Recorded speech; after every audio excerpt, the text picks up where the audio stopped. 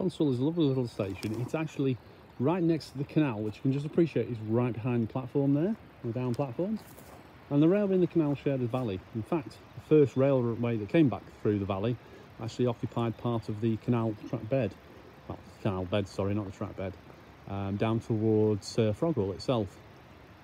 So at this point here, the railway is actually on the banking between the river to the right and the canal to the left. And there's some sluice flows that we discovered over the years with the Waterways Authority that uh, are supposed to govern the water levels between uh, the top there, down at the Black Lion pub, you can just see there in the distance. And also there's another sluice down there that goes under the railway, just under that bridge there, just by our signals. We have a barrow foot crossing that's manned by platform staff for uh, when we have busy days, when we use the two platforms and we open the loop. And we have a foot crossing, uh, open foot crossing up there at the far end uh, by the Black Lion. and That's to get to the pub itself. In the old days, the railway actually delivered uh, beer on that loop line over there and was rolled down barrel wise in and up into the pub. This waiting shelter, which is actually overslung over the canal, you just see there, as one of the original structures of the North Staffordshire Railway that survived, even BR days into preservation. That's been restored. You'll note there's a train arrive plunger just on the far wall of the waiting shelter there, and that's for the trains coming in from the Cheddleton end Obviously they're out of sight of the signaller so we can't see whether the uh, tail lamps arrived complete or not. So the guard has the responsibility of operating the train arrive plunger to inform the signal person that the train has arrived complete with tail lamp.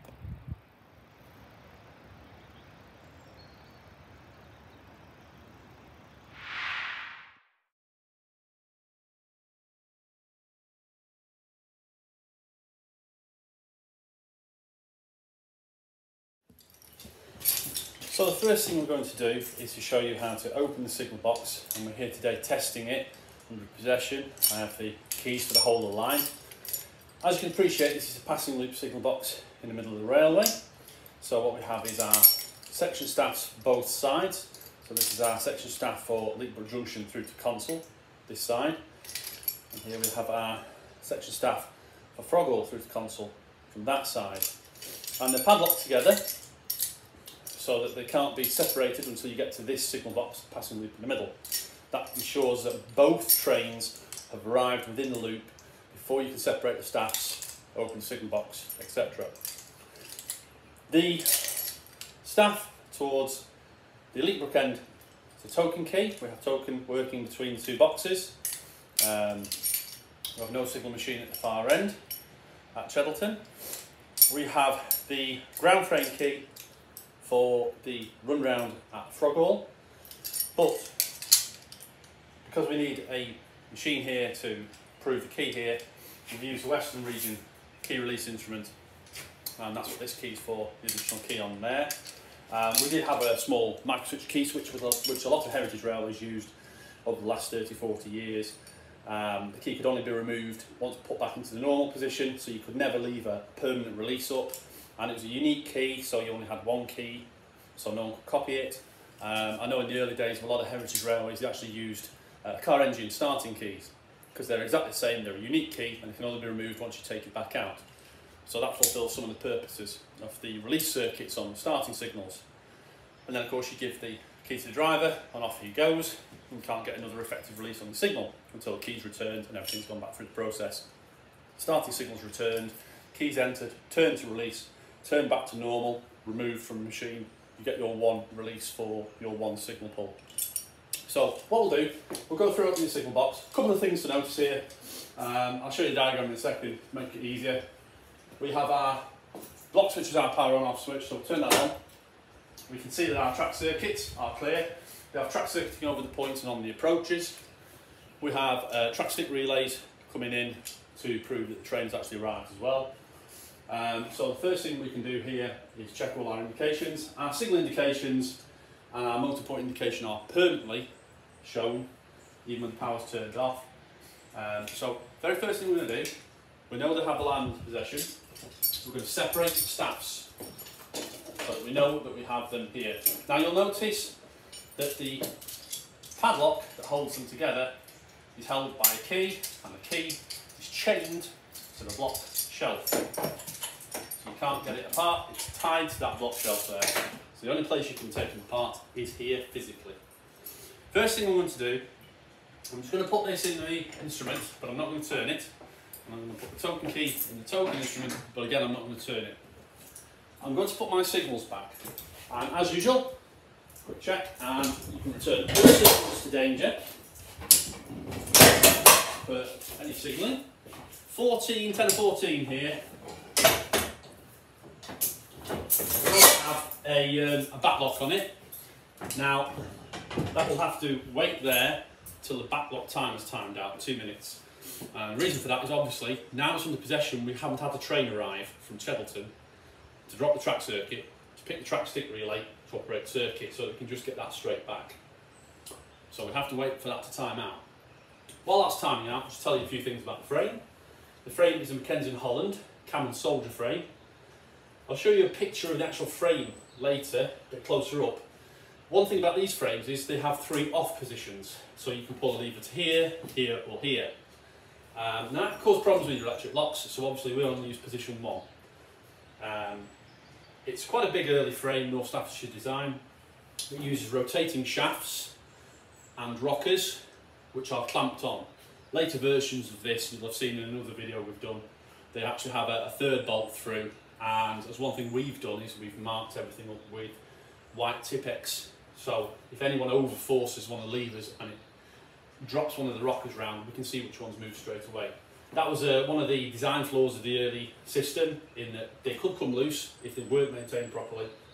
Um, and obviously, the later design, they had an extra bolt there to stop that from happening. It would have been better if they just had flats on the on the shafts, so that you clamped onto a flat, not a round surface. As I mentioned, all our signals here, we only detect our signals that are far out. So London Road Bridge has a very tall 45 foot signal to the side there. I can just see it's about a quarter of a mile away from me now. The points to my left going towards Kingsley and Froghall are mechanical. Uh, points to my right are motorised with a M3 point machine, um, which we got from our colleagues at the Embsay and Bolton Abbey Railway many years ago, which came previous to that from Manchester Victoria. Um, they were used quite a lot around Manchester Victoria areas. We're trying to keep as much North Staff's equipment in the box as we can, so we have our McKenzie and Holland uh, Worcester Makers plate on the back there, and we have little things like this uh, North Staffordshire lever collar. So we do try and keep things reasonable. Um, all our signals are illuminated electrically, we can see them from here. Um, and we do have push buttons, and as you'll notice, we've got our back lock, so we can place our signal now fully back into the frame. Now at this point, two things need to happen. I'm going to engage Kingsley and Froghall key to prove that I'm here, and that key has arrived complete and the train is inside section. I'm going to put the token back in the token machine and take it back out. Now there's a reason for that. Putting the token back in the token machine proves that the section is clear However, we need a key out to release the frame. We need both keys turned here to get the frame out. So we have to do that to get the key back out. Now at this point, we should be able to pick our electric lock on our king lever, our brown and white number 8 lever, and put that back. At this point, the box is all working. We can open it up as a normal signal box. Now, we've got a fault on this here. 1040 is not showing a good on indication. We're going to look into that. But just for the rest of this video now, to quickly speed this up, what I'm going to do is I'm showing you closing the signal box. So first thing, with everything back now, we need to get our king lever back out. We have our key here, we've already proved that it is here, it is not in the section. We have our Kingsley and, Kingsley and Froghall staff in the machine. I will pick my king lever, pull that across to the reverse position. And my king lever disengages the opposing lock in between signals. As you can appreciate, if we're running a train from this direction, we don't want the opposing signals pulled off at the same time. But when we close the signal box, we want to pull all our signals off so we can go both ways on the main through line. So that's what the king lever does. It's a disengaging lever. It disengages the opposing interlocking between the opposing signals. So, with that pulled out now, I will pull our signals, which are two, three at the end of the platform going towards Shelton, 14 coming back in, and number 13 going out. And I'll do that in order. So we have economizers on the back of the frame here. So two. Quite a heavy pull, number. Two down on the Bridge. Three. Our starter towards Cheddleton off. And then number 13. That's a signal just outside the box here, so that's clear. Number 14 is a long pull. Number 14 is off. Now we've got our signals cleared, got our king lever out. Two things we need to do. Take our Kingsley and Froghall staff out. To our Consall, uh, to Cheddleton staff out. Top machine showing the train is going to because I have withdrawn the staff for that. And finally, check my indications, everything's showing correct and off. Track showing clear, close the signal box. And that is basically it. But there's one last thing I've got to do. Padlock staffs together. Because now the signal box is closed, this acts as one section.